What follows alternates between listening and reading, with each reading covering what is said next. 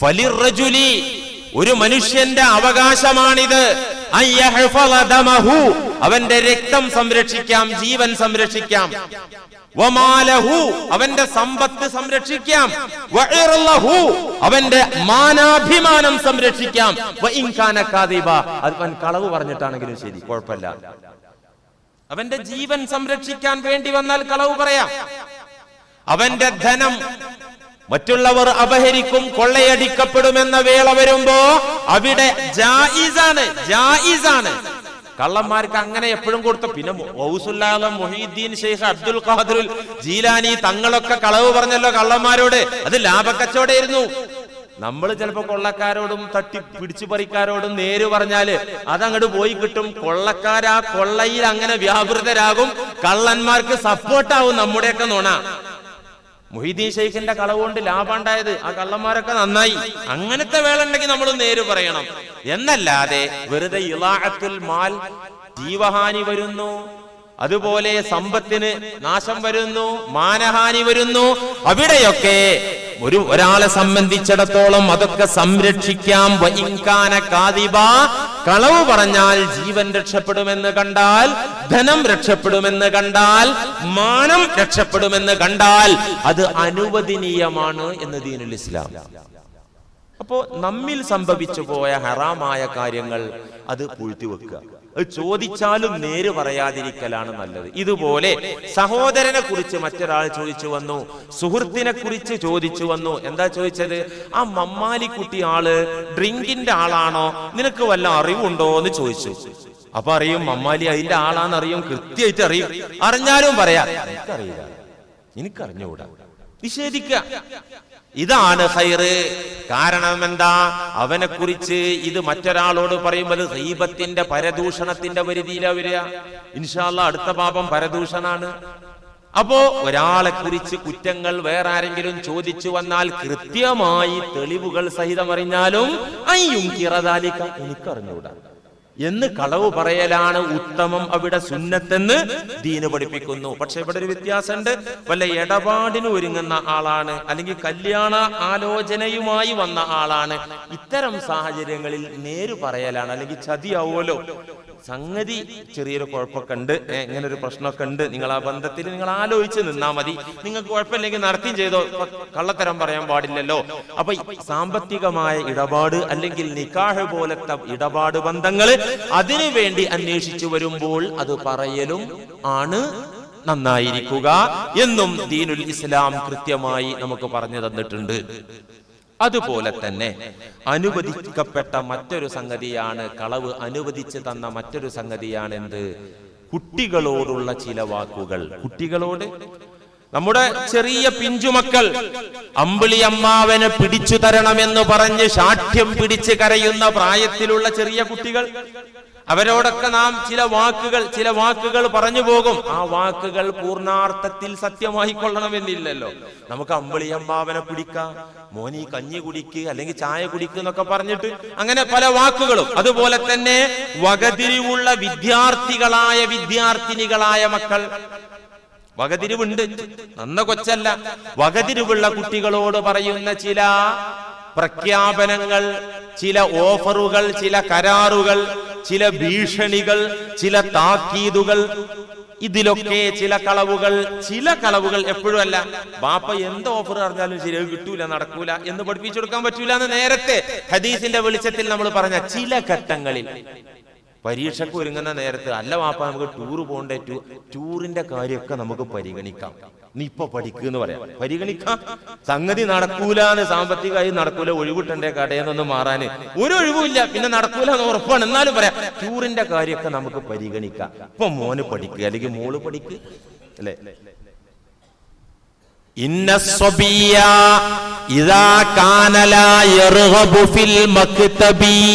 إلا بوعد أو وعيد أو تخذيف كاذب جاز كان ذلك مباحا കൃത്യമായി ദീന് നിയമം പറഞ്ഞു ഇന്ന സ്വബിയ തീർച്ചയായിട്ടും കുട്ടികൾ പഠിക്കാൻ പോകുന്ന വിദ്യാർത്ഥികളായ നമ്മുടെ കുട്ടികൾ ഇതാ കാനല ഫിൽ മക്തബി പഠനത്തിൽ അവർക്ക് ആവേശം വരുന്നില്ലെങ്കിൽ അവർ അനുസരിക്കുന്നില്ലെങ്കിൽ അച്ചടക്ക രാഹിത്യങ്ങൾ അവരിൽ കണ്ടുകഴിഞ്ഞാൽ പഠിക്കാൻ പ്രോത്സാഹനം നൽകാൻ അതവും മര്യാദയും ശീലിക്കാൻ അച്ചടക്കരാഹിത്യങ്ങളിൽ നിന്ന് മാറ്റാൻ സാധിക്കുന്നില്ല.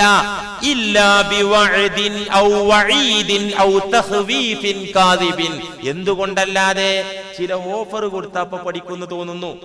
ചില ഓഫർ പറഞ്ഞാൽ ഒച്ചപ്പാടുണ്ടാക്കാതെ അനുസരിച്ച് നിൽക്കുമെന്ന് മനസ്സിലാകുന്നു. അല്ലെങ്കിൽ അല്ലെങ്കിൽ ചില താക്കീതുകൾ. ഔ തഹ്വീഫിൻ അല്ലെങ്കിൽ കള്ള ഭീഷണികൾ. ആ ഭീഷണി ഇറക്കിയാൽ ഇപ്പോൾ മര്യാദയ്ക്ക് നിൽക്കും. പഠിക്കും. അനുസരിക്കുമെന്ന് ബോധ്യപ്പെട്ടാൽ കാനദാലിക മുബാഹ. ഇത് അനുവദനീയാണ്. പറയുന്നതിൽ എനിക്ക് പേടിയുണ്ട്. കാരണം മുമ്പ് കള്ളവാഗ്ദാനങ്ങളുടെ അപകടം ഇവിടെ വെച്ച് പറഞ്ഞപ്പോ നല്ല ശക്തമായി ഹദീസിന്റെ പിൻബലത്തിൽ പറഞ്ഞപ്പോ ഒരു പുള്ളിയും ബാപ്പി ഒപ്പത് കേൾക്കാൻ വന്നിരുന്നു. ഇവിടെ ഉണ്ടായിരുന്നു ഇവിടെ തന്നെ ഇരിക്കുന്നുണ്ടായിരുന്നു. പുള്ള ഇങ്ങനെ വാപ്പിച്ചിനെ ഇങ്ങനെ തോണ്ടുന്നുണ്ട്. എന്താ മോനെ തോണ്ടത് കേട്ടില്ലേ? കേട്ടില്ലേ എന്ന് മോൻ പറഞ്ഞു എന്നാ അപ്പൊ തിരിച്ചു പറയുമ്പോൾ അതിൽ വേറെ ബേജാറുണ്ട്. കാരണം ഈ വാപ്പച്ചി പറഞ്ഞൊന്നും ശരിയാവൂല. കാരണം ഉസ്താനെ പറഞ്ഞിട്ടുണ്ട് ഇഷ്ടം പോലെ ഞങ്ങളോടൊക്കെ നോണ പറയാ. എന്ന് കുട്ടികൾ തെറ്റിദ്ധരിക്കണ്ട. ഇതെന്താ വെച്ചാ മര്യാദയിലേക്ക് കൊണ്ടുവരാൻ ഇവരെ സത്യസന്ധരാക്കി വാർത്തെടുക്കാൻ വേണ്ടി ചെറിയൊരു ആനുകൂല്യം. അതെന്നെ വളരെ ജാഗ്രത വേണം. അങ്ങനെ തോന്നും വിധത്തിൽ പറഞ്ഞാൽ പിടികൂടും. ഇൻഷാല്ല അതിന്റെ അപകടവും ഞാൻ പറഞ്ഞുതരാം. അപ്പോ ചില വഴത കൊണ്ട് ചില കരാറ് കൊടുത്തവരെ നന്നാക്കാം. ആ കരാറ് പൂർണാർത്ഥത്തിൽ പാലിക്കാൻ പറ്റിക്കൊള്ളണമെന്ന് ഒന്നില്ല. ഔ വഴീതിൻ അല്ലെങ്കിൽ താക്കീത് താക്കീത് കൊടുക്കൂലെ? അടിച്ചു കൊന്ന് കുഴിച്ചിടും ഞാൻ. എവിടെ കുഴിച്ചിടും? ഒരിക്കലും നടക്കുകയോ ചെയ്യോ? നേരാവോ?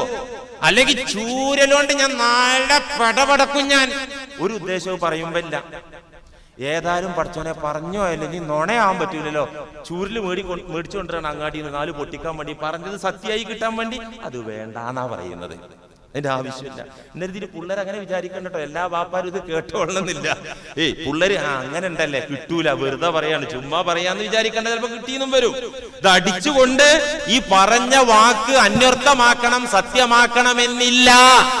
ഖുർആൻ തന്നെ പറഞ്ഞു തന്നിട്ടുണ്ട് ഈ സംഭവം. ഉണ്ടല്ലോ? നബിയുല്ലാഹി അയ്യൂബ് അലൈഹിസ്സലാം രോഗം ബാധിച്ച് കിടന്നില്ലേ? പതിനെട്ടോളം വർഷം നാട്ടുകാരൊഴിവാക്കി കൂട്ടുകാരൊഴിവാക്കി ബന്ധുക്കൾ ഒഴിവാക്കി എല്ലാരും ഒഴിവാക്കിയപ്പോ സഹധർമ്മിണിയായ പ്രിയപ്പെട്ട ഭാര്യ ആ അസുഖത്തിലും അവരെ ശുശ്രൂഷിച്ചുകൊണ്ട് പരിപാലിച്ചുകൊണ്ട് വേണ്ട സഹായ സഹകരണങ്ങൾ ചെയ്തുകൊണ്ട് കൂടെ നിന്നു ഭാര്യ.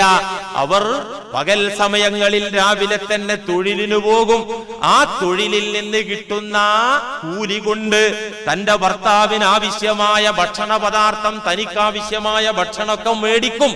ഇങ്ങനെ പതിനെട്ട് വർഷം തള്ളി നീക്കിയ മഹതി ഒരു ദിവസം ഈ രോഗത്തിൽ കിടന്ന് പ്രയാസപ്പെടുന്നതിനിടയിൽ ഒരു ദിവസം അയ്യൂബ് അലിഹിസലാം കണ്ടില്ല ഭാര്യയെ. സ്ഥിരമായി വരുന്ന പ്രാതൽ ബ്രേക്ക്ഫാസ്റ്റിന്റെ സമയത്ത് മഹദിയെ കാണുന്നില്ല. കുറെ നേരം കാത്തു നിന്നു. ഒടുവിൽ വന്നു കുറെ വൈകിട്ടാ വന്നത് കയ്യിൽ ഭക്ഷണ പൊതിണ്ട് എവിടെയായിരുന്നു നീ ഇത്ര സമയം എന്ന് ചോദിച്ചു? ഇന്ന് എനിക്ക് പണിയൊന്നും കിട്ടിയില്ല ഭർത്താവേ. ഇന്ന് ജോലിയൊന്നും ശരിയായില്ല. നമ്മുടെ പട്ടിണി മാറണ്ടേ. നിങ്ങൾക്ക് പണിക്ക് വയ്യല്ലോ. നാട്ടുകാരും വേണ്ടപ്പെട്ടവരെ എല്ലാരും ഇട്ടേച്ചു പോയല്ലോ. അതുകൊണ്ട് ഇന്ന് പണി കിട്ടിയില്ല. എന്നിട്ടാ? പണി കിട്ടാതിരുന്നപ്പോ ഞാൻ എന്റെ മുടിക്കെട്ട് മുറിച്ചു വിറ്റു. ആ മുടിക്കെട്ട് എന്റെ മുടി സുന്ദരമായ മുടി വിറ്റതിൽ നിന്നാണ് ഇന്ന് ഭക്ഷണത്തിനുള്ള വക ഞാൻ കണ്ടെത്തിയത്. ഇത് കേട്ടപ്പോ അയ്യൂബ് അലിഹിസ്ലാമിന് ചൂടായി. ഇന്ന് പട്ടിണി കിടക്കായിരുന്നല്ലോ എന്ത് തോന്നിയാസാ നീ ചെയ്തത്? നീ എന്റെ കെട്ടിയോളല്ലേ? നിന്റെ ശരീരത്തിലുള്ള മുടി മുറിച്ച് വിൽക്കണമെങ്കിൽ നിന്റെ അനുവാദം വേണ്ടേ? എന്നോട് ചോദിക്കാതെ എന്തിന് നീ നിന്റെ മുടി മുറി- മുറിച്ച് വിറ്റു? അതുകൊണ്ട് ഞാൻ ഈ കിടപ്പിൽ നിന്ന് എന്നെങ്കിലും എണീറ്റാൽ ഈ അസുഖത്തിൽ നിന്ന് എന്ന് എനിക്ക് എന്തെങ്കിലും ശമനം കിട്ടിയാൽ അള്ളാഹു എനിക്ക് എന്റെ ആരോഗ്യം തിരിച്ചു തന്ന് ഞാൻ രണ്ട് കാലിൽ എണീറ്റ് നിന്നാൽ നൂറ് പട ഞാൻ നിന്നെ ഞാൻ പടക്കും. നൂറടി എന്റെ വക നിനക്ക് കിട്ടിയിരിക്കും. വല്ലാഹി സത്യം. ആരാത് പറഞ്ഞത്? അയ്യൂബ് നബി അലിഹിസലാം നൂറടി. ഞാൻ ഈ കിടക്കുന്ന കിടപ്പിൽ നിന്നൊന്ന് എണീറ്റ് നിൽക്കാൻ ആരോഗ്യം കിട്ടിയാൽ മതി. നൂറ് പൂശൽ ഞാൻ നിന്നെ പൂശും. ഉറപ്പാ ഒരു തർക്കൂല വല്ലാഹി ശപഥം ചെയ്താണ് പറഞ്ഞത് അള്ളാഹു സുബാന അയ്യൂബ് നബി അലിഹിസ്സലാമിന് രോഗശമനം കൊടുത്തു. ആ രോഗം തിരിച്ചു കൊടുത്തു. രണ്ട് കാലിൽ എണീറ്റ് നിന്നു. അപ്പൊ തന്റെ സത്യം ശപഥമോർത്തു. നൂറടി അടിക്കുമെന്ന് നാവുകൊണ്ട് വല്ലാഹി സത്യമെന്ന് അള്ളാഹുവിനെ മുൻനിർത്തി സത്യം ചെയ്ത് പറഞ്ഞത് ഓർത്തു. അപ്പൊ തന്നെ പാവം തോന്നി. ഈ നീണ്ട പതിനെട്ട് വർഷക്കാലം എനിക്ക് വേണ്ടി കഠിനാധ്വാനം ചെയ്ത് ഈ അറപ്പും വെറുപ്പുമൊന്നും പ്രകടിപ്പിക്കാതെ എന്റെ ശരീരത്തിലുള്ള ചീഞ്ചലം വൃത്തിയാക്കി എന്റെ കൂടെ നിന്ന ഭാര്യ അവളെ എനിക്ക് ആരോഗ്യം കിട്ടുമ്പോ ഞാൻ തല്ല എന്ന് പറയുമ്പോ വിഷമം തോന്നി. പക്ഷേ സത്യം ചെയ്ത് പറഞ്ഞില്ലേ? അത് കളവാക്കാൻ പറ്റിയ ഒരു നബിയല്ലേ? അള്ളാഹു സുബാനഹുവത്തായ ഇളവ് പ്രഖ്യാപിച്ചു. സൂറത്ത് സ്വാതിൽ കാണാ. ആ ഇളവ് അള്ളാഹു പ്രഖ്യാപിച്ചത് ഇന്നും നാം ഓതുന്ന ഖുർആാനിൽ കാണാ. അയ്യൂബി അലിഹിസ്സലാമിന്റെ ചരിത്രം പറഞ്ഞിടത്ത്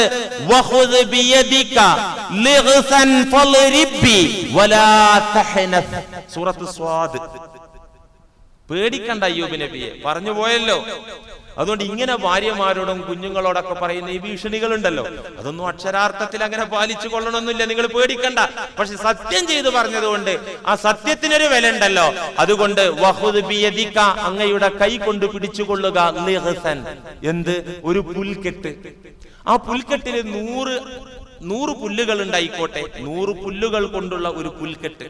അത് ഫളിരിബിഹി. അതുകൊണ്ട് ആ പുൽക്കെട്ട് കൊണ്ട് പയ്യെ ഒരടി അതുകൊണ്ട് ഒരു ഇക്കിളി ഉണ്ടാവുള്ളൂ ഒരു സുഖം ഉണ്ടാവുള്ളൂ. ഒരടിയൻ അടിച്ചോട്ട്. വലാത്ത പറഞ്ഞ വാക്ക് ശബദം ലംഘിക്കണ്ട. സത്യം നിങ്ങൾ പാഴാക്കണ്ട.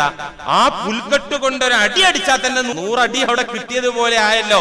എന്നല്ലാതെ ആ സത്യം നിങ്ങൾ അക്ഷരാർത്ഥത്തിൽ നിറവേറ്റേണ്ടതില്ല.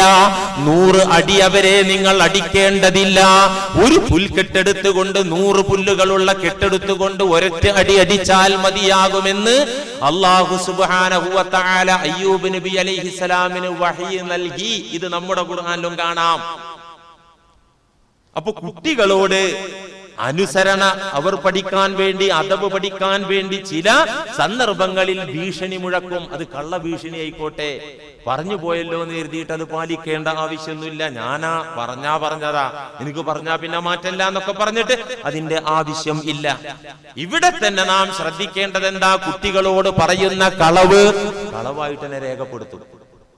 നേരത്തെ പറഞ്ഞ മൂന്ന് കളവ് കളവുകളായി രേഖപ്പെടുത്തൂല എന്ന് പറഞ്ഞില്ലേ യുദ്ധത്തിലുള്ള കളവ് പിണക്കം തീർക്കാനുള്ള കളവ് കുടുംബത്തിൽ കുടുംബ സുരക്ഷയ്ക്ക് വേണ്ടി പറയുന്ന കളവുകൾ അത് രേഖയാക്കൂല കളവ് എന്ന് രേഖ തന്നെയാക്കൂല എന്ന് പറഞ്ഞല്ലോ എന്നാൽ കുഞ്ഞുങ്ങളോട് പറയുന്ന ഈ കളവ് രേഖയാക്കപ്പെടും.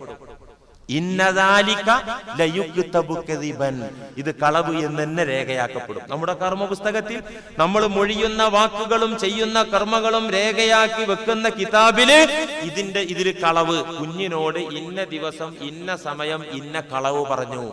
രേഖയാക്കപ്പെടും. മരിച്ചു ചെന്നാൽ മഷറയിൽ വെച്ച് റബ്ബാനിയായ കോടതിയിൽ വെച്ച് വിചാരണയുണ്ടാവും ഈ കാര്യത്തിൽ. എന്തിനാ നീ കുട്ടിയോട് കളവ് പറഞ്ഞു? തച്ചു കൊല്ലുന്നൊക്കെ എന്തിനാ കുഞ്ഞിനോട് പറഞ്ഞു കൊന്ന നീ? എന്നല്ല ചോദിക്കും. വിചാരണക്കെടുക്കും മക്കളോട് പറയുന്ന ഈ കളവ്.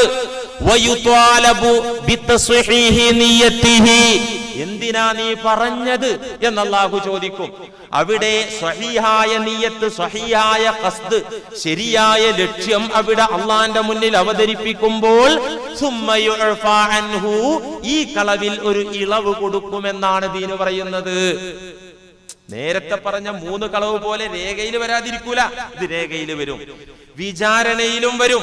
എന്നിട്ട് ഇതിന്റെ ലക്ഷ്യം ചോദിക്കുമ്പോ അതിന്റെ കറക്റ്റ് ലക്ഷ്യം സത്യസന്ധമായ നീയത്ത് അതിലുള്ള സതുദ്ദേശം റബ്ബിന്റെ മുമ്പാകെ വ്യക്തമാക്കുമ്പോ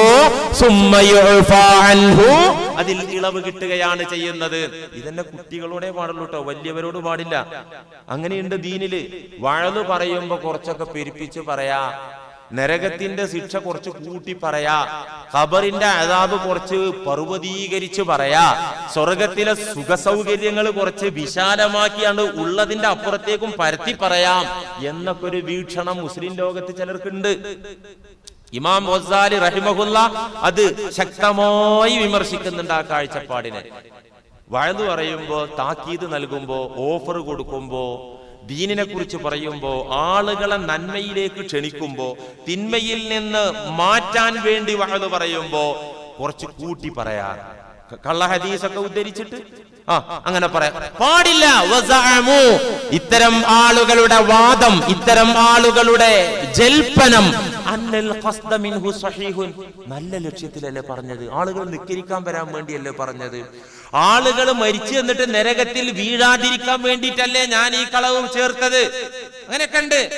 ചില സംഘടനക്കാർ വലിയ വലിയ ആലിമീങ്ങളൊക്കെ അല്ലെ? ഒരാൾ കക്കൂസ് എന്ന് മരിച്ചു എന്ന് വഴലറിഞ്ഞു ഒരു പുതിയ ആശയക്കാരെന്ന് വിചാരിച്ചോളൂ. അല്ലെങ്കിൽ ദീനിൽ ഇല്ലാത്ത കാര്യങ്ങൾ കൂട്ടിയ ഒരാൾ മരിച്ചു. മരിച്ചപ്പോ ഈ വലിയ ഉസ്താദിന്റെ എന്താണ്? കക്കൂസിൽ ഇരുന്നിട്ട് ടോയ്ലറ്റിൽ ഇരുന്നിട്ടാണ് ആൾ ചത്തത്. അതിന് തെളിവുണ്ട് ഉസ്താദെ. എവിടെ അത് ഉള്ളത്? അങ്ങനെ സംഭവം കുടുംബം പറഞ്ഞു? അല്ലെങ്കിൽ ആരെങ്കിലും പറഞ്ഞു? അങ്ങനെ പറയണം. അങ്ങനെ പറയണം. പറഞ്ഞാലാണ് ആളുകൾ അയാളെ പാർട്ടിക്ക് പോകാതിരിക്കുള്ളൂ. ഉണ്ടോ എന്തിനാ ഇതിന്റെ ആവശ്യം? ഇതിന്റെ ആവശ്യമില്ല. ദീനീ കാര്യങ്ങൾ മുതിർന്ന ആളുകളോട് മുക്കല്ലഫുകളായ പ്രായപൂർത്തിയായ വിശ്വാസികളോട് ദീനിന്റെ കാര്യങ്ങൾ പറയുമ്പോ അവിടെ സത്യം തന്നെ എമ്പാടും പറയാണ്ടല്ലോ. നന്മയിലേക്ക് ക്ഷണിക്കാൻ ഖുർആാനിൽ വാരിതായ സത്യം തന്നെ ആവശ്യത്തിൽ അപ്പുറണ്ട് പിന്നെന്തിനാ പുറത്തു നിന്ന് അസത്യം കൂട്ടിക്കേറ്റുന്നത്? എത്രത്തോളം ഹദീസൊക്കെ ദുർവ്യാഖ്യാനിക്കുന്നവരുണ്ട്? മൻ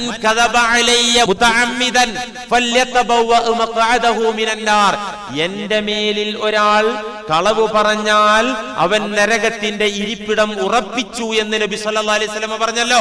ഇവിടെ അർത്ഥം വെച്ചു എങ്ങനെ അറിയോ മൻ കഥബ അലയ്യ. എനിക്കെതിരെ ആരെങ്കിലും കളവ് പറഞ്ഞാൽ അലയ്യ എന്നതിന് എതിരെ എന്ന് ഭാഷയിൽ അങ്ങനെ ഭാഷയിൽ അർത്ഥമുണ്ട്. അലയ്യ എന്ന് പറഞ്ഞാൽ എതിരായിട്ട്. അപ്പൊ നബി പറഞ്ഞ എന്താ? മൻ അലയ്യ ആരെങ്കിലും എനിക്ക് പ്രതികൂലമായി എനിക്കെതിരായിട്ട് കളവ് പറഞ്ഞാൽ അവന് നരകണ്ടെന്നാ പറഞ്ഞത്. അനുകൂലായി കളവ് പറഞ്ഞാൽ കുഴപ്പമില്ല എന്ന് വാദിക്കുന്ന പാർട്ടിക്കാർ ഈ മുസ്ലിം ഉമ്മത്തിൽ വന്നിട്ടുണ്ട്. അനുകൂലായി നുണ പറയാ. അള്ളാന്റെ റസൂലിനോടുള്ള സ്നേഹം കൂട്ടാൻ നുണ പറയാ. ഇത് റസൂലിന്റെ കുപ്പായം തന്നെയാണ് ഇത് റസൂലിന്റെ കിണ്ടി തന്നെയാണ് എന്ന് പറയാ. എന്നിട്ടാണ് വരുന്നെ അനു- അത് അനുകൂലല്ലേ? റസൂലിനോടുള്ള ഹെബ് കൂട്ടാനുള്ള മാർഗല്ലേ എന്ന് പറഞ്ഞു നോണ പറയാ. ഇത് പൊട്ടത്തെറ്റാണ് മഹലുൻ ഖതഉൻ മഹലുൻ വഹുവ ഖതഉൻ മഹലുൻ. അത് പച്ചയായ തെറ്റാണ്. പരമവിഡിത്വമാണ്. അതിന്റെ ആവശ്യം ദീനിൽ ഇല്ല. ഉള്ളത് പറഞ്ഞാൽ മതി ഇല്ലാത്തത് പറയണ്ട. പക്ഷെ കുട്ടികൾ അങ്ങനെയല്ലല്ലോ. കുട്ടികളോട് ചില യാഥാർത്ഥ്യം പറയാൻ പറ്റൂലല്ലോ. അവിടെ വാസ്തവ വിരുദ്ധമായതല്ലേ പറയാൻ പറ്റുള്ളൂ.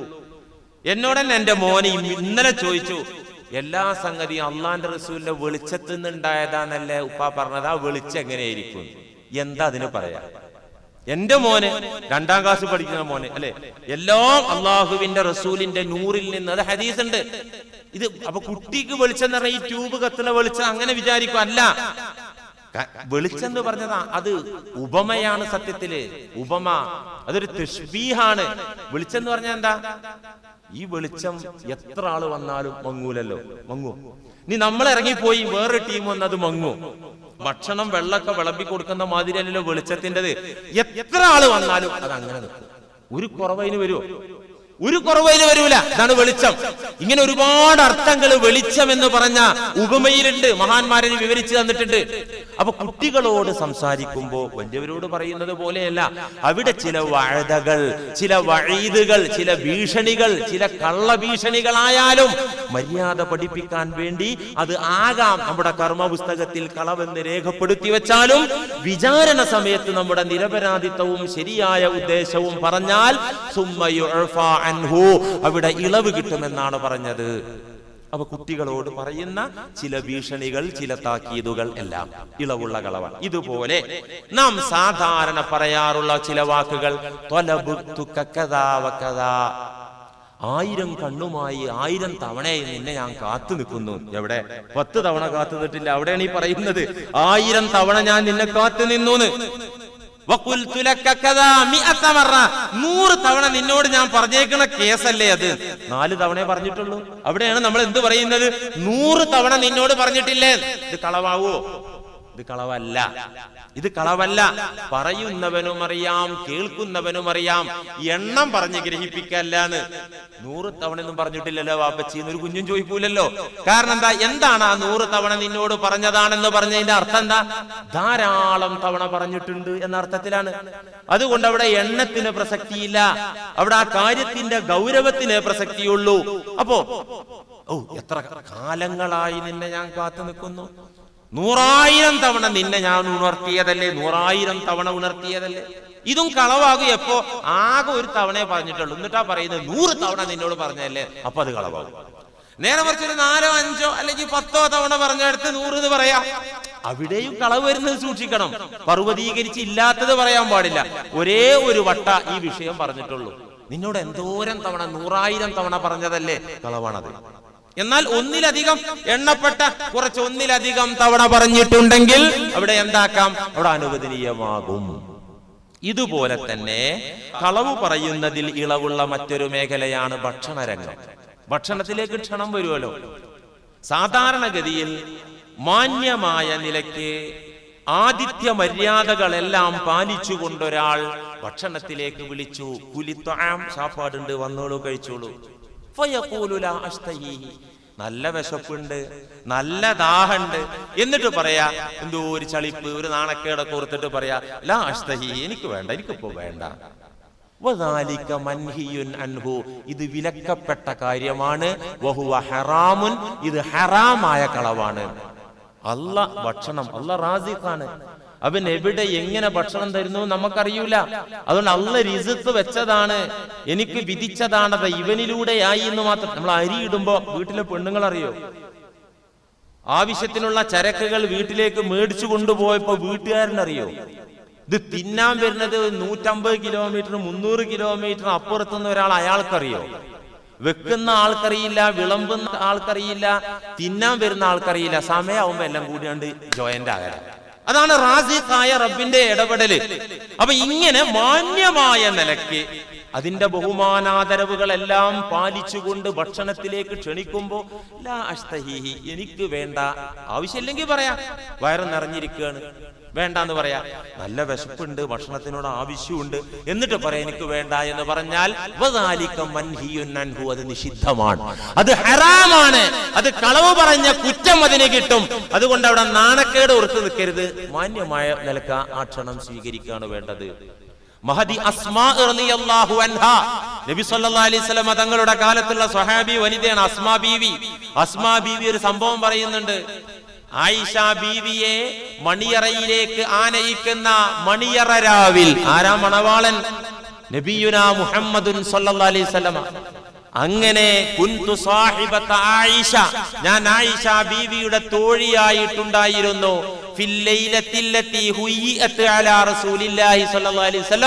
നബി തങ്ങൾക്ക് വേണ്ടി അവരെ അണിയിച്ചൊരുക്കി മണവാട്ടിയാക്കി. അങ്ങനെ ഞങ്ങളാണ് തോഴിമാർ. അസ്മ ബീവി പറയുന്നു എന്റെ കൂടെ കുറെ പെണ്ണുങ്ങൾ വേറെയുണ്ട്. അങ്ങനെ ഞങ്ങൾ മണിയറയിലേക്ക് കൊണ്ടുപോയപ്പോ മണിയറയിൽ എന്താ ഉള്ളത് എന്നുള്ളത് പോലെ തന്നെ പാലിന്റെ പാത്രമുണ്ട്. ഒരു ഗ്ലാസ് പാലല്ല ഒരു അത്യാവശ്യം വലുപ്പമുള്ള ഒരു പാത്രത്തിൽ തന്നെ പാൽ നബി സല്ലാഹു അലിഹി വസല്ലമ തങ്ങളുടെ മണിയറയിൽ ഉണ്ടായിരുന്നു. എന്നൊക്കെ തെളിവുണ്ട്. ഒന്നും കുഴപ്പമുള്ള കാര്യമല്ല. ഇനിയിപ്പോ തെളിവില്ലെങ്കിലും വീട്ടിൽ കയറുമ്പോ പാൽ വെച്ചാൽ അത് ഹിന്ദുക്കൾ ചെയ്യണില്ലേ? എന്താ പാൽ വെച്ചിട്ട് കള്ള് കയറ്റാൻ ഞാൻ മതി. പാൽ കാച്ചിട്ട് കുഴപ്പമൊന്നുമില്ല. നമുക്ക് കുടിക്കാൻ പറ്റുന്ന സാധനമല്ലേ? അത് ഫിത്തറത്താണ് നമുക്ക് അനുവദിച്ചു തന്ന അതിലൊന്നും കുഴപ്പമൊന്നുമില്ല. നാട്ടാചാരങ്ങളെല്ലാം തള്ളേണ്ട ആവശ്യമൊന്നുമില്ല. നാട്ടാചാരങ്ങളെല്ലാം തള്ളേണ്ട കാര്യമൊന്നുമില്ല. ദീനിന് വിരുദ്ധമല്ലാത്ത നാട്ടാചാരങ്ങൾ നമുക്ക് എടുക്കാം അപ്പോ നബി തങ്ങളുടെ മണിയറയിൽ പാലുണ്ട്. നബി തങ്ങൾ ആ പാത്രമെടുത്ത് അല്പം കുടിച്ചു. കുടിച്ചിട്ട് മണവാട്ടിയായ ആയിഷ ബീവിയിലേക്ക് അങ്ങ് നീട്ടിയപ്പോൾ മഹദിക്ക് നാണം നാണിച്ചിട്ട് അത് വാങ്ങാൻ കൂട്ടാക്കിയില്ല. അസ്മാ ബീവി പറഞ്ഞു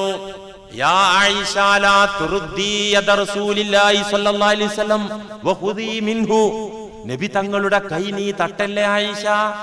സാധാരണ പുതിയാപ്പിളന്റെ മുന്നിലുണ്ടാകുന്ന നാണക്കേടും ആ ലജ്ജയൊക്കെ ഉണ്ടാവും. അതൊക്കെ ശരി തന്നെയാണ് പക്ഷെ നബി നീട്ടിയ കൈ നീ തട്ടരുത് ആയിഷാവ മിൻഹു. പെട്ടെന്ന് നബിയിൽ നിന്ന് ആ പാൽപാത്രം വാങ്ങണമെന്ന് ഞാൻ പറഞ്ഞപ്പോ നാണക്കേടോടുകൂടെ നബിയുടെ മുഖത്ത് നോക്കാതെ ആ പാൽപാത്രം ഇങ്ങോട്ട് മേടിച്ചു. എന്നിട്ട് കുടിക്കാൻ പറഞ്ഞു നാണിച്ചുകൊണ്ട് ലജ്ജാവതിയായി തന്നെ ആയിഷ ബീവി അത് കുടിച്ചു. ഇച്ചിരി കുടിച്ചപ്പോ അതൊരു ഗ്ലാസ് അല്ല എന്ന് പറഞ്ഞല്ലോ അത്യാവശ്യം വലിയ പാത്രത്തിലാണുള്ളത്. ഇച്ചിരി കുടിച്ചു നബി കുടിച്ചു ആയിഷ ബീവി കുടിച്ചപ്പോ വായിൽ നിന്നെടുത്തപ്പോ നബി തങ്ങൾ പറഞ്ഞു നിന്റെ തോഴിമാര് കുറെ വന്നിട്ടുണ്ടല്ലോ അവരൊക്കെ വായിൽ വെള്ളം നിറച്ച് നിൽക്കുകയാണ്. അതുകൊണ്ട് അവർക്കൊക്കെ ഇച്ചിരി കൊടുത്തലേ എന്ന് പറഞ്ഞു. ആ. അത് നല്ല തന്നെയാണ് കുഴപ്പമൊന്നുമില്ല. നീ കൊടുത്തലേ അവർക്കൊക്കെ നിന്റെ തോഴിമാർക്കൊക്കെ കൊടുത്തലേ ഫഖുൽന. തോഴിമാർ ഏകസ്വരത്തിൽ പറഞ്ഞു ഞങ്ങൾക്കത് വേണ്ട നബിയേ. അത് നിങ്ങൾ കുടിച്ചാൽ മതി ഇന്നത്തെ രാത്രിയിൽ. അതിന്റെ അവകാശികൾ ഞങ്ങളല്ലല്ലോ. മാത്രല്ല ലാ നഷ്തഹിഹി ഞങ്ങൾക്ക് ഇപ്പൊ പാലിനോടൊരു താല്പര്യം തോന്നുന്നില്ല എന്ന് പറഞ്ഞു. ഇത് കേട്ടപ്പോ നബി തങ്ങൾ എന്താ പറഞ്ഞത്? നിങ്ങൾ എന്തിനാ ഈ കളവും വിശപ്പും കൂടി കൂട്ടി കലർത്തുന്നത് വിശപ്പും ദാഹം നിങ്ങൾക്ക് ഉണ്ട് എന്ന് എനിക്കറിയാം. നിങ്ങൾ എന്നെ പഠിപ്പിക്കണ്ട. ആ കൂട്ടത്തിൽ കളവും കൂടിയും ചേർക്കണം എന്തിനാ? ഏതായാലും വിശപ്പുണ്ട്. പിന്നെ എന്തിനാ നിങ്ങൾ കളവ് പറയുന്നത്? അപ്പൊ അസ്മ ബീവി ചോദിച്ചു യാ റസൂലല്ല ഇതൊക്കെ സാധാരണ ആളുകൾ പറയുന്ന ബഡായി അല്ലേ നുണയല്ലേ കളവല്ലേ? ഇതൊക്കെ ഒരു കുറ്റാവോ നബിയെ നിങ്ങളെ മണിയറയിലേക്ക് വന്നിട്ട് നിങ്ങൾ കുടിക്കേണ്ട പാലിൽ അത് ഞങ്ങൾക്ക് തരുമ്പോ അത് ഞങ്ങൾക്ക് വേണ്ട ഞങ്ങൾക്ക് ആവശ്യമില്ല എന്ന് പറയുന്നതൊക്കെ വലിയ കുറ്റാകോ എന്ന് അസ്മ ബീവി റളിയല്ലാഹു എന്നെ ചോദിച്ചപ്പോ എന്താ നബി പറഞ്ഞത്? ഇന്നൽ കദീബല യുക്തബു കദീബത്തൻ. ഏത് കളവും കളവായിട്ട് രേഖപ്പെടുത്തും. കള്ളിയായ പെണ്ണാണെങ്കിൽ കള്ളി എന്ന് തന്നെ അവളെ കുറിച്ച് എഴുതപ്പെടും. നിങ്ങളൊക്കെ കള്ളികളാകാൻ നിൽക്കേണ്ട മര്യാദ എടുത്ത് കുടിച്ചോളൂ പറഞ്ഞു. അവരെല്ലാവരും എടുത്ത് കുടിച്ചു എന്നാണ് ചരിത്രം. അപ്പോ ഭക്ഷണം ആവശ്യമുണ്ട്. ന്യായമായ നിലക്കാണ് ക്ഷണം വന്നത്. നിരസിക്കാൻ പാടില്ല. എന്നാൽ അവിടെ ചില കാരണങ്ങൾ ഉണ്ടെങ്കിൽ നിരസിക്കാം. എന്താ കാരണം? പലിശ കൊണ്ട് പണം ഉണ്ടാക്കിയ ബിടുക്കൂസാണ് കച്ചവടത്തിന് മുഴുവൻ ഹറാമും കള്ളത്തരവും തട്ടിപ്പും വെട്ടിപ്പുമാണ്. ഇവനാണ് വീട്ടിലേക്ക് വിളിക്കുന്നത് നല്ല വിശപ്പുണ്ട്. അവിടെ നല്ല ഫുഡും ഉണ്ട് വായിൽ കപ്പലോട്ടം വെള്ളമുണ്ട്. ഒക്കെ ശരിയാ.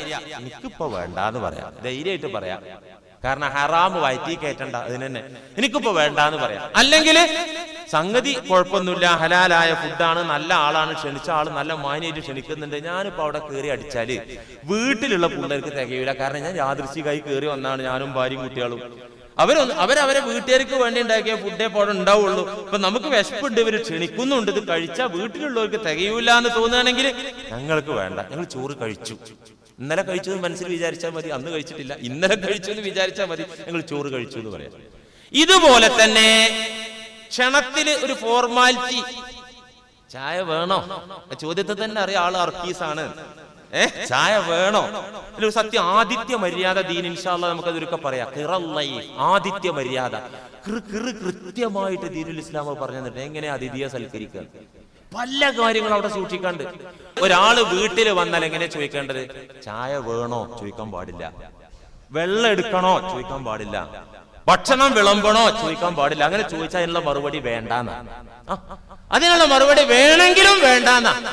എങ്ങനെ ചോദിക്കേണ്ടത്? വെള്ളമാണോ ചായയാണോ എടുക്കേണ്ടത്? ഏതെങ്കിലും ഒന്ന് കുടിക്കേണ്ടി വരും എന്റെ വീട്ടിൽ വന്ന ഏതാ വേണ്ടത്? വെള്ളമാണോ ചായയാണോ വേണ്ടത്?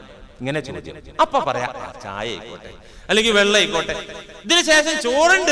ചോറ് പറല എന്റെ വീട്ടിൽ വന്ന ചോറ് കഴിക്കാതെ ഭക്ഷണം കഴിക്കാതെ ഞാൻ വിടൂല. ഇപ്പൊ എന്താ വേണ്ടത്? ചായയാണോ വെള്ളമാണോ ഏതാ എടുക്കേണ്ടത് അതാണ് ആദിത്യ മര്യാദ. നേരെ മറിച്ച് വെള്ളം വേണോ? പഞ്ചാരക്കൊക്കെ ഇപ്പൊ എന്താ എന്താ വില? എന്ന് മനസ്സിലുണ്ടാവും അപ്പേ. പഞ്ചസാര ഒന്നും ഇപ്പൊ ആറേ അമ്പതിന് കിട്ടുന്ന കാലല്ലല്ലോ. അപ്പൊ ഈ ബേജാറുണ്ടാവും. അപ്പൊ ആ ജാതി അർക്കീസ് പിഷ്കന്മാരെ ഒപ്പിക്കാൻ വേണ്ടി ചോദിക്കും ചായ വേണോ? വേണ്ടാന്ന് ധൈര്യമായിട്ട് പറയാ. ആ കളവ് കുറ്റാവൂല. അത് ഹറാമായി രേഖപ്പെടുത്തപ്പെടൂല. എന്നും ദീനുൽ ഇസ്ലാം നമുക്ക് പറഞ്ഞു തരുന്നു. ഇൻഷാല്ല ഈ വിഷയം കഴിഞ്ഞു ഇനി മതിയാക്കുകയാണ്. ഒരു ചെറിയൊരു കാര്യം കൂടി ഉണ്ട്. ഇപ്പൊ പറഞ്ഞ രണ്ടു മണി ആകും. ഇൻഷാല്ല അടുത്ത ആഴ്ച പറഞ്ഞിട്ട് അടുത്ത കുറ്റത്തിലേക്ക് നമുക്ക് പ്രവേശിക്കാം. അപ്പൊ നമുക്ക് എന്ത് മനസ്സിലായി? ചില രംഗങ്ങളിൽ കളവ് ദീനുൽ ഇസ്ലാം അനുവദിച്ചിട്ടുണ്ട്. ഈ അനുവദിച്ചത് തന്നെ ജാഗ്രതയോടുകൂടെ കൈകാര്യം ചെയ്യണം. പഴച്ചു പോകുന്നത് സൂക്ഷിക്കണം. അള്ളാഹു തോഫിക്ക് ചെയ്യണം